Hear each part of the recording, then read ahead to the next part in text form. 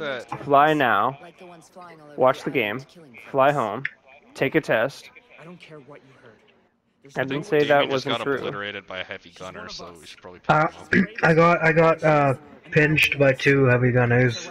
Yeah. I definitely thought Jeremy was weighing into the conversation Shane and I were having about flying to Minnesota, and, I, and I, he was like, "Nah, we can't." Damian just got killed, and I was like, "Oh, that's rough." like, ay.